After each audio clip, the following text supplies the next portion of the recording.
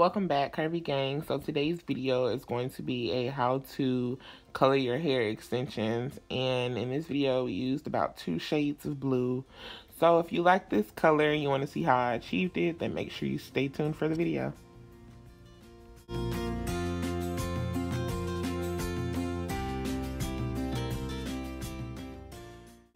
So the hair I'm using in this video is the Peruvian Natural Wave um, in the inches 14, 16, 18. The hair was purchased from All Virgin Hair Boutique. I'm just showing you guys the consistency of the bleaching powder and my techniques for bleaching. As you guys can tell, my brush my brush is angled so you want to make sure that you angle the brush so that you don't come out with a straight and harsh line. Um, you want it to have kind of that ombre effect and you do want to make sure you open the bundles up so that your coloring doesn't come out blotchy. You want to make sure you get those dark spots that's hiding in between um, the surface level of the bleaching and here I'm just showing you how I saturated the hair, opening the bundle up, rubbing the bleach through the ends to make sure the ends are completely saturated. Um, and again, I'm just going to repeat those steps for the other side of the hair.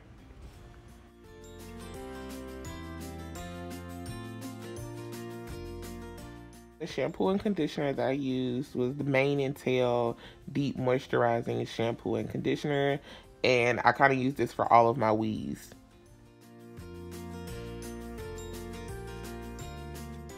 So here I'm just rinsing out the bundles that were already at the desired color level. And again, I did not leave the bleach on very long because again, this was a Peruvian natural wave and I wanted the wave to still be consistent in the hair and I did not want to strip it. So you guys, now I'm just going to shampoo the bundles and one thing I want to mention is you want to make sure that you shampoo the wefts. A lot of people will shampoo their hair and forget to shampoo the wefts. So you need to make sure you shampoo the wefts, especially if, if this is hair that has been already installed and is going for a second or third installment. So make sure you get the wefts clean too because that's where the bulk of the dirt from the hair will be because that's the part that's attached to your scalp, especially if you know you sweat in your head and everything. So just make sure you shampoo the hair thoroughly.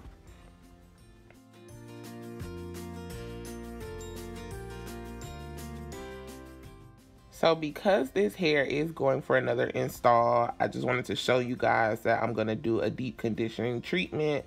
And I use some ApHogee Pro Vitamin Leave-In Conditioner, the Mane and Tail Deep Conditioner, and a silicone mix and mixed it all in a bag.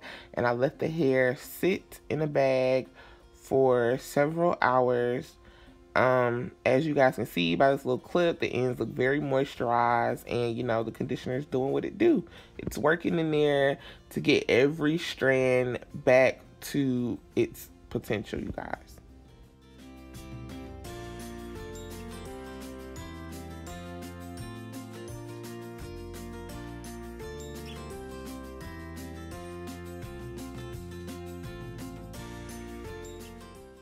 So after you rinse the conditioner out, you just want to make sure you let the hair air dry overnight. And this is the color payoff. It's coming off a little bit more red on camera than it actually was. But um, as you guys can see, the waves in the hair are still pretty consistent.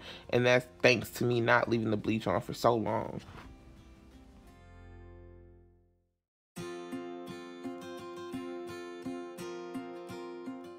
We're going to color the hair and we're using the Adore color in Royal Navy. And here I'm just going to start the ombre effect on this bundle by using the darkest color at the top. Um and as you guys can see i'm just i separated it and put the color in the bowl because both colors were blue and they look pretty dark in the bowl so i didn't want to get them mixed up. And i'll show you the second color used here in just a minute. But you guys make sure you saturate the hair thoroughly with this color because you want it to be all over the hair, okay? Um, so now you guys are to see the second color and it's the indigo blue and this is the color that gave off that purple effect. Um, as you guys know, indigo is a shade of purple. So this color is like a purple blue. Um, and that's the color that that's the purple that you guys were seeing in the first clip of the video. And I'm just gonna go through and add this color on the ends. And I use this color straight out the bottle. I didn't put in a bowl because I didn't want to get the two colors confused. Um, and again so just make sure you guys thoroughly saturate the hair. Make sure you flip the hair over because you don't want to leave any brown spots or bleached blonde spots in the hair. So it's necessary that you flip the hair over. And I know you guys can see like the color is supposed to be blue but like on the paper it's coming off purple. Um I'm not sure why that is but you know as you guys saw in the clip there was blue in the hair um, so I guess this is just how the Adore color comes out. I do want to add that it's important that you blur the lines between the separate colors so that there is no line of demarcation. Um, that's a very important step. Also, I did not use the same method for all of the bundles. Some of the bundles I decided to streak with the separate colors. So one section would be the royal navy the other section would be the indigo blue and i just made sure i alternated it like that. Um, so this next clip coming up is going to show you why it's important that you turn the hair over to make sure that you get all of the bleach spots because there were still some uncolored spots. So you make sure that you flip the bundle over so that you can get all of the hair um, and again you make sure you go in at an angle use the brush angled so that there's no line of demarcation. And when you you're when you're using more than one color make sure that you blend the colors in the middle where there's a, so there won't be a line of demarcation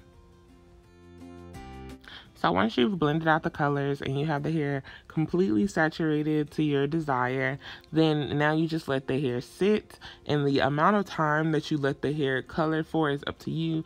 I just let it sit for about 12 hours while I was at work.